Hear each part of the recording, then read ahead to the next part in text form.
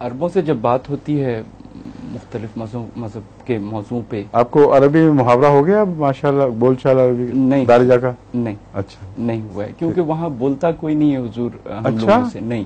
اردو بولتے ہیں؟ ان لوگ اردو بولتے ہیں اور کچھ تو ایسے بھی ملتے ہیں۔ آپ حیدرآباد بھی رہے ہیں کبھی؟ نہیں۔ ان لوگ کیوں کہا آپ نے؟ ان کے ساتھ اب رہتے ہیں وہاں۔ حیدرآبادیوں کے ساتھ؟ وہاں یہاں دبئی میں حضور اچھا وہی۔ وہاں پہلے آپ بہاری تھے پھر بنگالی بنے پھر پاکستانی بنے۔ اب حیدرآبادی بھی ہو رہے ہیں ساتھ ساتھ۔ ہاں کاسموپولیٹن سٹی ہے حضور ہر قسم کے لوگ ہیں وہاں۔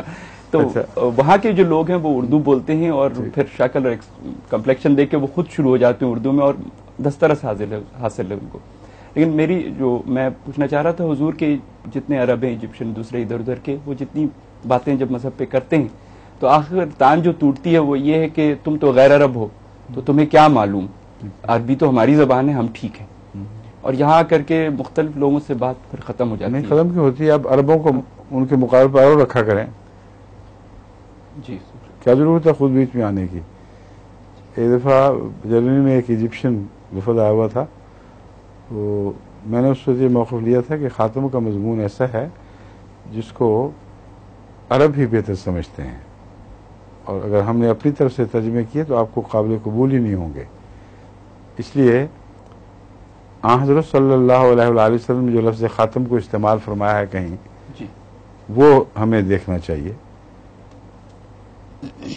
انتا خاتم الاولیاء یا علی کما انا خاتم الانبیاء۔ تو یہ اس حدیث پر بعض لوگ یہ بحث اٹھاتے ہیں کہ یہ ایک دوسرے درجے کی کتب حدیث سے لی گئی ہے اور سند اتنی مضبوط نہیں۔ مگر دوسرے بعض علماء نے سند کے لحاظ سے اسے بہت ہی مستند قرار دیا، مضبوط قرار دیا ہے۔ لیکن یہ بحث کسی نے نہیں اٹھائی کہ لفظ خاتم کا یہ استعمال چونکہ عربی کے لحاظ سے غلط ہے، اس لیے یہ حدیث ہو ہی نہیں سکتی۔ اور میرا پوائنٹ صرف اتنا ہے۔ آپ نے جب یہ فرمایا کہ اے علی، تو خاتم الاولیاء ہے، جیسا کہ میں خاتم الانبیاء ہوں، تو چونکہ اس میں آخری کے معنی داخل کیے ہی نہیں جا سکتے، اس کی طرف منسوب ہو ہی نہیں سکتے۔ کیونکہ حضرت علی پھر اگر آخری ولی ہیں تو پھر اسلام میں سے سب کچھ گیا۔ اس لیے یہ نقطہ ہے جو قابل غور ہے۔ یہ حدیث جب بھی ایجاد ہوئی اگر ایجاد ہوئی ہے، تو چھ سات سو سال پہلے کم سے کم ایجاد ہوئی ہے۔ اور عربوں نے ایجاد کی ہے۔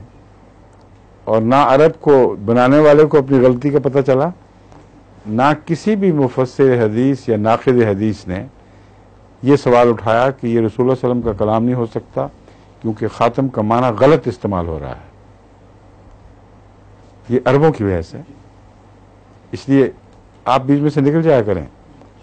اور دوسرے عرب علماء ہیں ملا علی قاری ہیں، حضرت عائشہ صدیقہ رضی اللہ تعالیٰ عنہ ہیں۔ رسول اللہ علیہ وسلم کا اپنا کلام خاتمیت کی تشریح میں دوسری جگہ جس میں فرماتے ہیں کہ عیسیٰ جب آئے گا لیسا نبی لیسا نبی بینی و بین ہو۔ کوئی نبی میرے اور اس کے درمیان نہیں ہوگا۔ اگر وہ بھی نہیں ہوگا تو یہ فکرہ بمانی ہو جائے گا۔ اس کے اور میرے درمیان کوئی نبی نہیں۔ بادی کی تشریح خود فرما دی۔ تو آپ اپنی طرف سے بحث کیا ہی نہ کریں۔ آپ کہیں یہ عرب ہیں کہ نہیں؟ رسول اللہ علیہ وسلم، تم سب عربوں میں بہتر عربی جاننے والے تھے کہ نہیں؟ آیت خاتمیت آپ پر نازل ہوئی کہ نہیں؟ اب بتاؤ اس میں کیا فیصلہ کرو گے تم؟ ٹھیک ہے؟ ظہور میں آخر